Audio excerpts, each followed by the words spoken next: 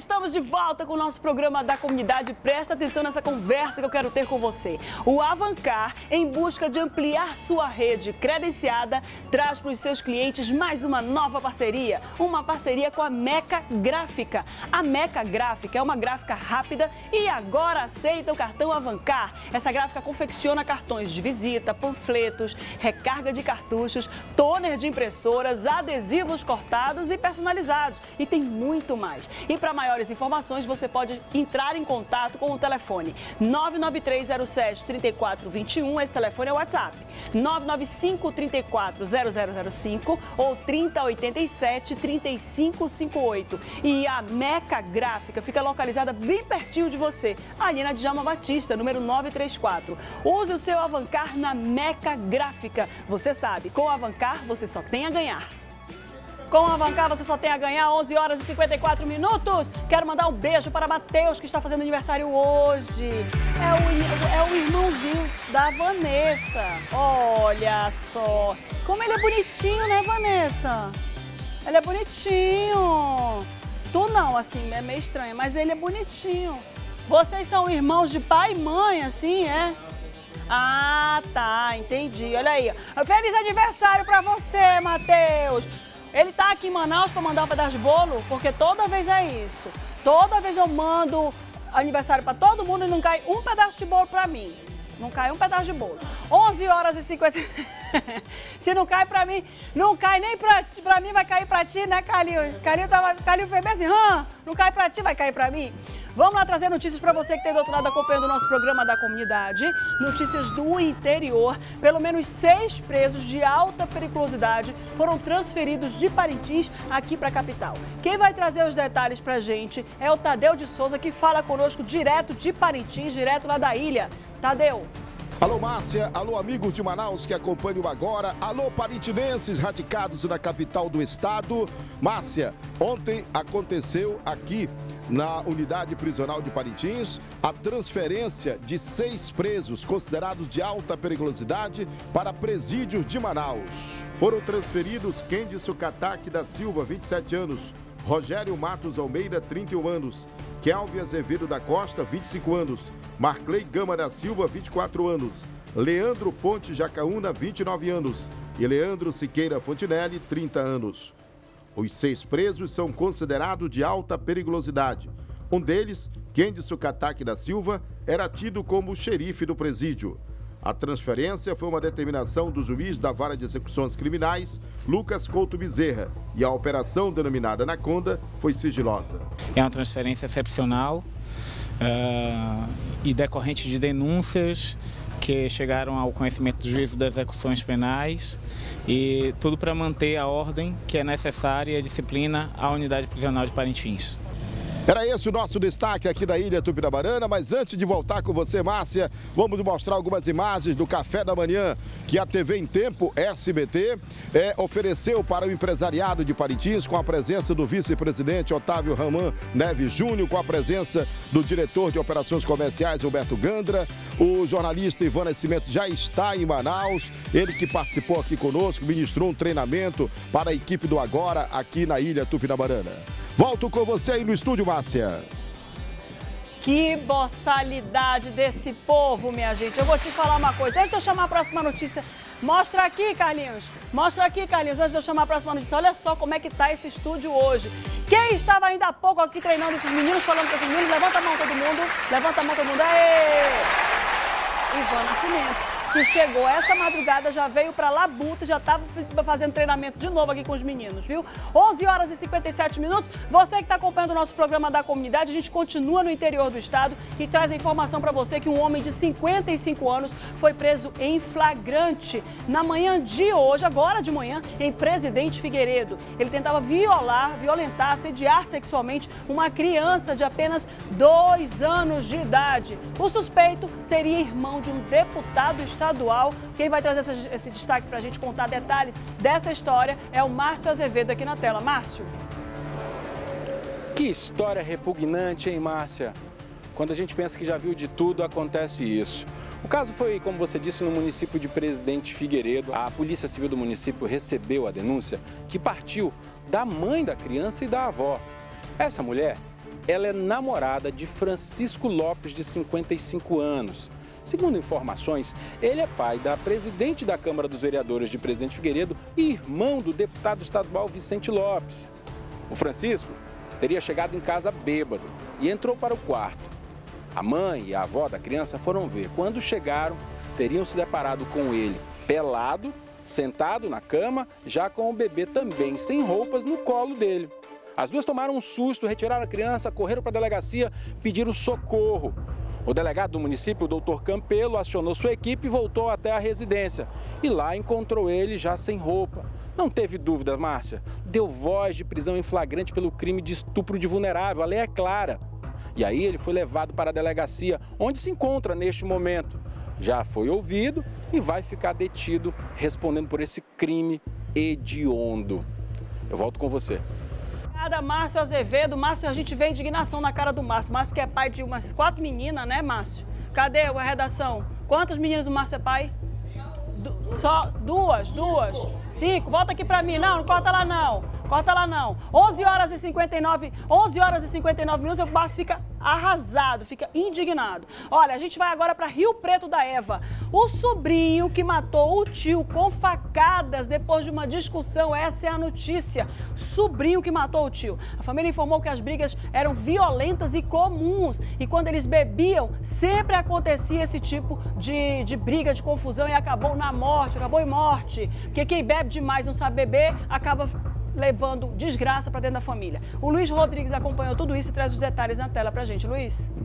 O crime aconteceu na noite desta última quarta-feira, por volta de 8h30, no ramal Manápolis, no sítio Reino das Águas. A Elson Silva Santos, de 28 anos, matou o próprio tio a facadas. Tudo iniciou após uma discussão entre tio e sobrinho, no qual a Elson recebeu um golpe de terçado no peito. Para tentar se proteger, ele pegou uma faca e desferiu vários golpes contra o Elson Ribeiro da Silva, que veio a óbito no mesmo momento. Segundo a família, Elson tinha esse comportamento violento após ingerir várias bebidas alcoólicas, o que era de costume sempre acontecer casos como esse. Ele também era foragido da justiça por um crime ainda desconhecido e não se apresentava há um bom tempo às autoridades. A Elson foi levado até o atendimento médico, onde recebeu alta e se apresentou à delegacia. Agora ele ficará à disposição da justiça. Eu volto com você. Obrigada, Luiz. Eu fico conversando com o Luiz ao mesmo tempo que ele está falando, eu fico aqui conversando. Porque eu fico pensando, depois que passa o efeito da bebida, será que a pessoa se pergunta, meu Deus, o que foi que eu fiz? E por que motivo eu fiz isso? Porque veja você, foi uma briga, uma discussão. Pode ter caído ali o copo, pode ter quebrado uma garrafa. Foi esse o motivo que ensejou toda essa, essa desgraça e acabou com a vida de uma pessoa. Bebida não combina com uma pessoa de temperamento forte. Se a pessoa já tem um temperamento ruim, não vai beber porque tu vai estragar a tua vida e a vida de alguém. 12 horas e 1 minuto. Olha, no início da tarde dessa quarta-feira, alunas de uma escola pública brigaram e uma delas esfaqueou a outra. Aí por isso que agora o Gesiel acabou de dizer, rapaz, no interior só dá facada, só dá facada no interior. A Patrícia de Paula foi acompanhar essas notícias. Corta aí, Gesiel, aqui é para dois isso. A Gesiel tá falando comigo aqui, minha gente, porque o programa não é apresentado só por mim, não. A gente apresenta o programa junto com todo mundo, que todo mundo ajuda o programa aqui. E a Patrícia de Paula acompanhou isso e vai contar os detalhes pra gente. Conta aqui, Patrícia.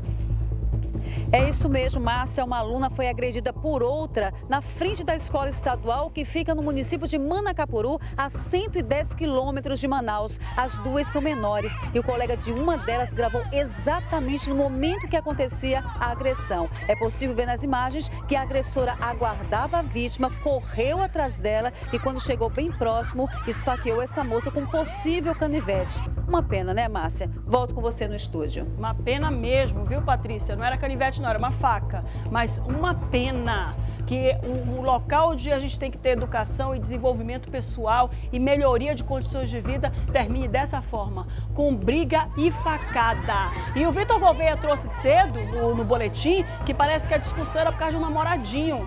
Ah, pelo amor de Deus, vamos se dar o respeito, né? Olha, a Seduc informou pra gente, por meio de nota, que chamou os pais das alunas para uma reunião. A agressora foi suspensa das atividades escolares e o motivo da briga, como eu acabei de falar, seria a disputa por um rapaz. Pelo amor de Deus, tu tá disputando o cara, se tu tá disputando o cara, o cara não te quer, minha filha. Deixa o cara seguir a vida dele, deixa o cara seguir o caminho dele, vai ficar com quem te quer. Porque olha isso, Olha isso. E outra, vou dizer uma coisa para você. A mulher pode dar em cima do cara. É problema dela. Se ele quiser, é que é problema seu. Se ele quiser, é que é problema seu. E é um problema fácil de resolver. Tira ele da tua vida. Isso, Vanessa. Vanessa trouxe agora, salva de palmas para Vanessa. Eu vou repetir, vou replicar o que Vanessa acabou de dizer. Vamos cuidar de estudar, né, mana? E que isso não é hora para namorar, não. Isso é coisa para estudar. Salva de palmas para Vanessa Goldinho. Filósofa Vanessa Goldinho, é isso mesmo. Olha, para você que está querendo. Cê, cê, olha, eu vou dizer uma coisa para você. Tem tantas oportunidades, tem gente querendo estudar, querendo melhorar de vida, querendo progredir, como essa, essa oportunidade que eu vou trazer para você agora. Quem quer fazer graduação em Libras, a UFAM abriu o processo seletivo para 2019. Quem vai trazer os detalhes dessa história para a gente contar como é que vai ser esse processo seletivo é o Valdir Adriano, que traz as informações para a gente aqui na tela. Valdir, me conta. É isso mesmo, Márcia. A Universidade Federal do Amazonas abriu inscrições para o processo seletivo na graduação de Letras, Língua Brasileira de Sinais, mais conhecida como Libras. As 30 vagas estão disponíveis aos interessados a partir desta quarta-feira. As inscrições podem ser feitas no site da Comissão Permanente de Concursos, que é nesse site que aparece no seu vídeo. As inscrições podem ser feitas até o dia 20 de dezembro e a taxa é de apenas 70 reais. Então, quem for interessado aí em cursar letras nesse segmento, não perde a oportunidade, tem até o dia 20 de dezembro para fazer sua inscrição, já para começar 2019 com uma graduação na Universidade Federal do Amazonas. Valdir Adriano para o programa agora. Muito obrigada, Valdir Adriano, que traz informações de educação, de melhoria, de progresso, tá aí. É isso que tem que se fazer, não sair batendo e batendo e brigando com ninguém, pelo amor de Deus, né? Bora segurar a onda mesmo, bora segurar essa onda. Vou dizer uma coisa para você que tem do outro lado. É melhor, aquilo que a gente sempre diz, é melhor um covarde vivo do que um corajoso morto. Então, nada de ficar brigando por aí, arrumando confusão, seja da paz, seja zen, seja da tranquilidade. Você não precisa provar nada para ninguém. Quem tá na rua querendo provar, eu sou valente, ninguém briga comigo, ninguém é porque não tem nem certeza do próprio nome. Quiçá da, da, da sua integridade, da sua personalidade. Faça-me o favor. A concorrência no setor de transporte de cargas aqui no estado tem sido cada vez maior, ao ponto de empresários burlarem a lei e fraudarem licitações. O que, que é isso? Não tem concorrência que justifique uma ilegalidade. A gente acompanha agora na matéria. Roda. Tudo começa com esse terreno onde hoje funciona a empresa Super Terminais, na zona sul de Manaus. Ele pertencia à extinta empresa de navegação da Amazônia SA, Enasa. A venda dele virou caso de polícia e foi parar na justiça por suspeita de fraude na licitação. Segundo investigações, o empresário Franco de Gregório, um dos sócios do Super Terminais, criou uma empresa de fachada para evitar que o preço do terreno aumentasse durante o processo licitatório. Ele acabou condenado em novembro de 2012 pelo crime. Segundo esse professor de direito, essa é uma prática comum em licitações. Então é comum que algumas empresas elas façam negociações extra administração pública. Elas negociam entre si com algumas finalidades repudiadas pela nossa legislação. E nesse caso de sociedades laranjas, você não consegue analisar isso pelos documentos, porque são fatos que acontecem por trás dos documentos. E isso realmente precisa de uma investigação. A condenação de Franco de Gregório foi mantida pelo Superior Tribunal de Justiça em segunda instância. Ele também teve que pagar multa de mais de 4 milhões de reais. Partir do problema judicial envolvendo esse terreno onde funciona o Superterminais que descobrimos um outro suposto esquema envolvendo o nome do empresário Franco de Gregório, que mesmo condenado tentou participar da licitação para operar o terminal de cargas aqui do aeroporto Eduardo Gomes, como vamos mostrar amanhã em uma segunda reportagem minha gente. E olha, deixa eu dizer um segredo para vocês, viu? Dá para trabalhar direitinho se você fizer tudo certo. A legislação de licitações, todo o software que trabalha com licitações nacionais e até internacionais funciona direitinho. Você não precisa burlar nada, não precisa fazer nada de errado, nada nem escandaloso, nem nada não. Mas as pessoas não querem.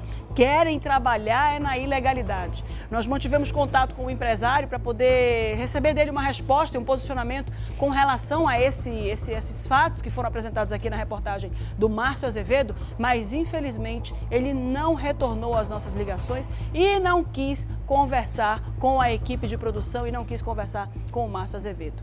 Infelizmente. Vamos lá seguir com o nosso programa da comunidade, são 12 horas e 8 minutos. Vem aqui comigo, Carlinhos. Vem aqui que eu vou ter que pegar o jornal ali. Aí o Gesiel corta para Carlinhos, Carlinhos rebate para mim, a gente corta para cá, vê todo mundo lá dentro do suíte. Oi, pessoal, de novo, dá um oi para mim aqui. Olha o Ivan, baixa todo mundo, deixa só o Ivan em pé. Baixa todo mundo, deixa só o Ivan. Olha o Ivan, onde está? Tá vendo só a cabeça dele ali, ó? Tá se escondendo, mas ele já está aqui, já está entre nós, Ivan Nascimento. Que show! Ivan Nascimento já está entre nós. Vamos falar do nosso agora. Tá aqui, ó o nosso agora que está todos os dias circulando aí nas, nas padarias, nos pontos de ônibus, nas tabernas. E o destaque de hoje é: detento morre em cela do Centro de Detenção Provisória Masculino. Mais uma notícia que faz com que a gente duvide da nossa Secretaria de Administração Penitenciária. Está um caos, tanto a segurança nas ruas quanto do lado de dentro das prisões. E a gente traz como destaque hoje no nosso Agora. O Agora Impresso está, está todos os dias pertinho de você por 50 centavos apenas, tá aqui o valor, ó. Tudo que interessa, e olha só essa notícia aqui que você está vendo aqui, ó, tá vendo? Vagas de emprego. Isso aqui é muito importante, principalmente para quem está terminando o ano de 2018 sem seu trabalho. Então fica ligado nos destaques. Atrás tem uma fofoquinha básica de celebridade, que é bom também no ônibus e lendo a fofoquinha para chegar com a cabeça amena lá, né? Não se envolve não, tá, gente? Só lê, não se envolve não, tá bom? 12 horas e 9 minutos. Esses foram os destaques do nosso jornal. O que é, menino? O que, que é, Tony? O Gesiel está perguntando se o gato minha. Sabe Deus, eu não vou responder isso. Vou nem repetir a pergunta. Vamos para o intervalo. É isso que está indo agora. Vou quero saber de nada, não. 12, tá perguntando os gatos. Vou perguntar e falar. Olha, 12 horas e 9 minutos. Daqui a pouco a gente volta com o nosso programa da comunidade. Vamos para o intervalo. E daqui a pouco tem destaque de polícia do município de Quari. Policiais prenderam um homem que transportava drogas vindas de Quari. Os entorpecentes seriam distribuídos onde? Nas bocas de fumo da capital. Iam, não vão mais. É daqui a pouco.